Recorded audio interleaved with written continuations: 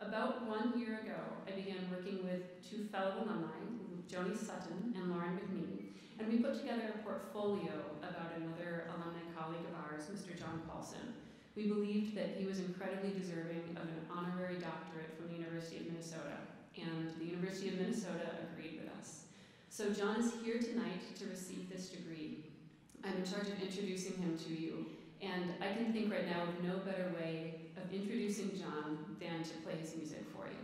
We'll be performing a piece of his called Heartland, and I feel like that's a very fitting title and a very fitting piece for what we're all here for tonight. And that is to share and celebrate our collective bonds of music, band, and the University of Minnesota. So please enjoy John Paulson's Heartland.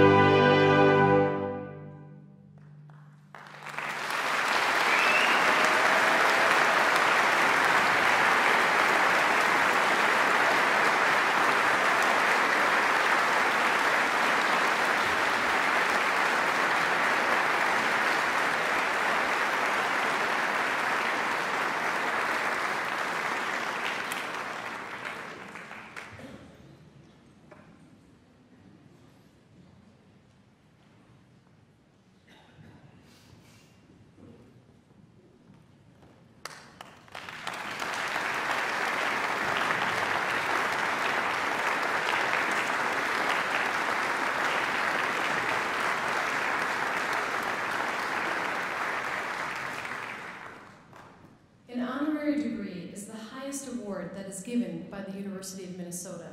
Professors Craig Kirchhoff and Betsy McCann were central to making this award a reality for one of our famous alumni. I invite Professor McCann to the podium to share with you the achievements of our award recipient, John Paulson.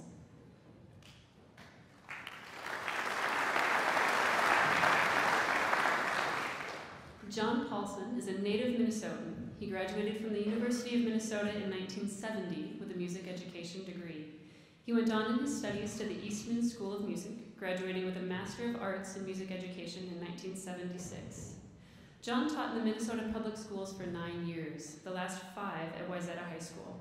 At Wayzata, he taught band and chamber music and also was on the cutting edge in high school curriculum with 20th century music and electronic music classes as well. John is best known for being the founder and CEO of Make Music Incorporated, founded in 1990. Make Music enhances the worlds of professional music and music education with innovative, practical, and useful technologies, and Make Music has become the world leader in music technology. Make Music deals with many areas of music technology, but most recognizable under the umbrella of Make Music, John created and developed Smart Music, Smart music is a virtual accompaniment that has changed the way that students practice and perform and the way that teachers can teach and assess. It's used widely around the country and the world. Under John's leadership, Finale became and continues to be the most widely used music notation software in the world. It is the industry standard for writing music. John also brought in world-class artists to serve on the Make Music Advisory Board, including Wynton Marsalis, Sir James Galway, Frederick Fennell, John Paynter, Donald Hunsberger, and our own Craig Kirchhoff. As a visionary and an entrepreneur, John has transformed music education as well as the professional world of music. Additionally, as you just heard, John is a composer with a compelling voice. His music has been performed for decades and his library is still growing. Harder to measure than business success or composition performance is one's impact as an educator. We don't often have the opportunity to know the influences that teachers have on their students who sit in their classrooms. That said, I have a letter to share with us tonight that gives us a glimpse of the impact that John had as a teacher when he was at Wayzata High School. This is from a former student of John's, Michele Grego, who is now in her 21st season playing bassoon with the Los Angeles Philharmonic. Michelle sent this to me to be read tonight. She says, Almost 40 years ago, while in my first year of high school, John began his tenure as the band director.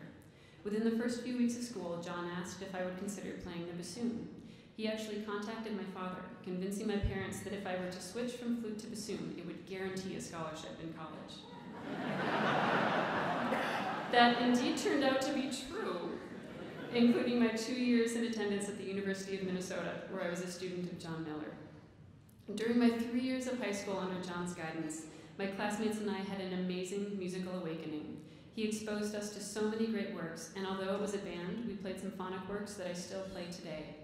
To this day, every performance of Holst's Planets reminds me of the first time I was able to play both Jupiter and Mars in John's band. He taught us music, and he taught us to love music. He created an environment where several of us would aspire to be professional musicians. We would spend time in the band room listening to Mahler's Fifth Symphony and Bernstein's Mass. I can honestly attribute to my pursuit of a career in music all to John. Without great educators to inspire youth, artists may not open their minds to the possibility of being an artist. Congratulations to John, and thank you for inspiring me and so many of my classmates who are currently successful musicians.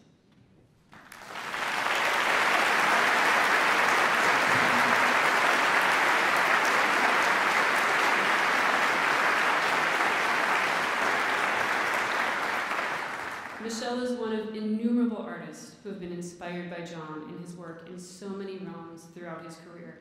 It is because of this inspiration that we present this degree to John tonight. I will now invite Regent Dean Johnson to the podium to present the honorary degree, Doctor of Humane Letters.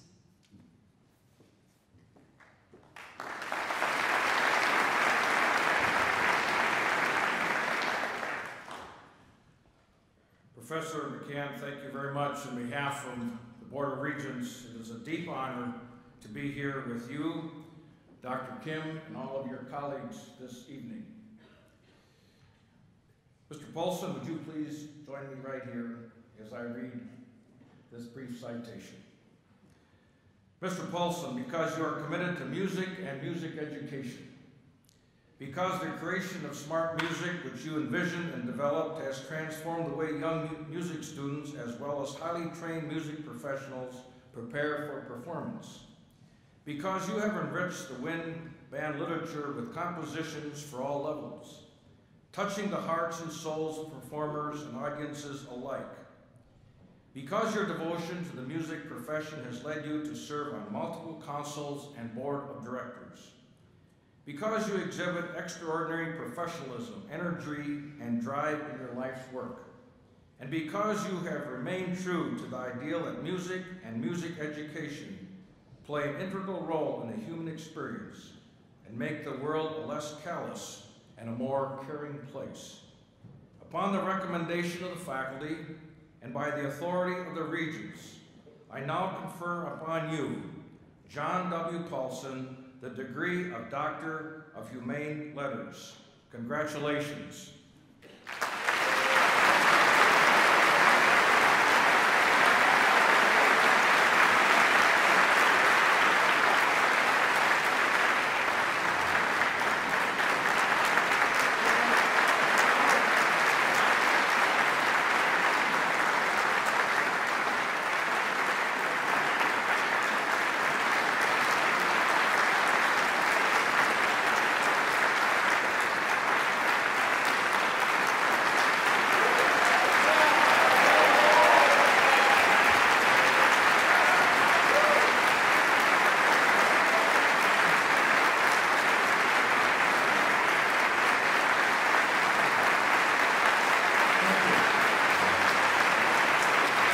Thank you very much.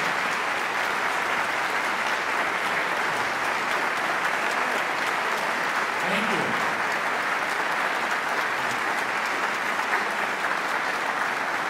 When I, yeah, thank you very much. When I learned this presentation would be at this historic concert celebrating 125 years of bands at the university, I thought, well, that's not just appropriate, it's perfect. Why? Because I started going to university band concerts when I was in the eighth grade. My big brother Ray joined the university at about the same time as Dr. Frank Bencriscutto, and he played in Dr. Ben's concert band ensemble. And then a few years later, my sister Patty joined him at CBE. What great concerts! Even as an eighth grader, I was mesmerized by that sound, that big, beautiful, exciting sound. Finally, in the fall of 1966, it was my turn. I didn't apply to any other college. I knew I wanted to go to the U and play in the band. What enlightening, formative years those were for me. Such engaging, enriching concerts, such extraordinary, spectacular tours, and I absolutely loved the rehearsals. It seems to me that many of our best moments our most intimate moments with the music were in the rehearsals. Remember how we used to look forward to each one? That chance to get together and make music, really make music? What would we give now to be able to do that? For it was in the university bands that we came to understand and value the deep connections between rigor and joy, between making music and celebrating our humanity. And so, to those gifted, talented, dedicated students that I had the privilege of playing with, I say thank you. And to our conductors, those determined, loving conductors who guided us, challenged us, and inspired us, I say thank you. And to the School of Music, the All University Honors Committee, and the Board of Regents for this honorary doctorate, I most humbly say thank you. And to the bands of the University of Minnesota, 125 years strong, I say bravo, bravo, and hail to thee. Thank you.